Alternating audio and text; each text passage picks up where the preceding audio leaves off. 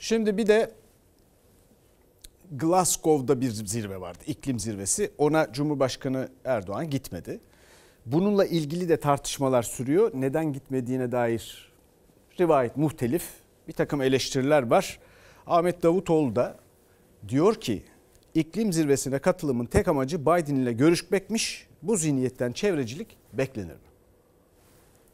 Biz çevreciyiz be. Türkiye'nin Yeşil Kalkınma Devrimi kitabını Sayın Biden'a hediye ettim. Biden'a biliyorsun ben de çevreciyim dedim. Yeşil dolar onlar için çok önemli. Doğadaki yeşil hiç önemli değil. Yeşille olan alakaları sadece dolardan ibaret. Roma'daki G20 zirvesinin ardından rotası Glasgow olacaktı Cumhurbaşkanı Erdoğan'ın Dünya İklim Zirvesi için. Ama güvenlik protokolünde Türkiye'nin talepleri karşılanmayınca zirveye katılmadan Türkiye'ye döndü. Biden'a ne kadar çevreci olduğundan söz ettiği açıklamaları muhalefeti konuşturdu. Sayın Erdoğan Roma'da Biden'la görüştükten sonra Glasgow'daki iklim zirvesine katılmamaya karar verdi.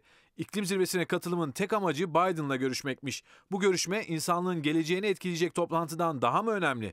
Bu zihniyetten çevrecilik beklenir mi? İklim, çevre, koruma bunlar bahane. Biden'la fotoğraf vermek şahane. Kimse bizimle çevrecilikte yarışamaz. Artık çevreyle dost ve barışık bir gelecek planlaması sadece Türkiye için değil, bütün ülkeler, bütün toplum ve milletler için hayati bir zorunluluktur. Bahçeli grup toplantısında çevre iklim hassasiyetini uzun uzun anlattı. Muhalefete göre ise Cumhurbaşkanı'nın tek amacı Biden'la görüşmekti. Roma olmasaydı Glasgow'a gidecekti Erdoğan ama çevre için değil yine Biden'la görüşmek için. Erdoğan iklim zirvesine neden katılmadığını açıkladı ama muhalefeti tatmin etmedi. Glasgow'da liderler zirvesi için talep ettiğimiz güvenlik protokolü standartlarının son anda karşılanamayacağı bize söylendi. Daha sonra bizim geri çevrilen talebimizdeki standartların başka bir ülke için istisnai olarak sağlanabildiğini öğrendik.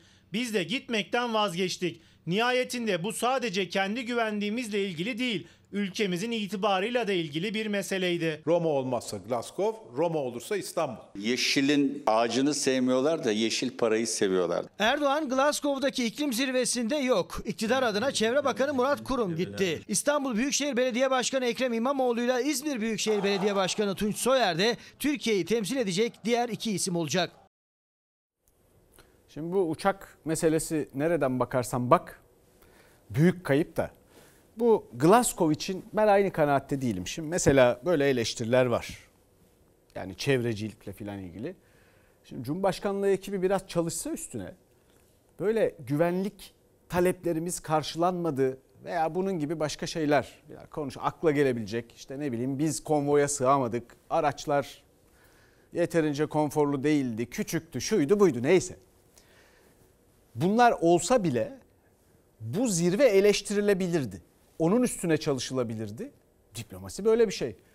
Bu liderler, oraya giden liderler uçaklarıyla 13 bin ton karbon salımı yapmışlar. Yani çevreyi korumak üzere gidiyorlar ve çevreyi aşırı kirletiyorlar. Biz buna katılmak istemedik de denebilirdi. Bayağı da sempati toplayabilirdi.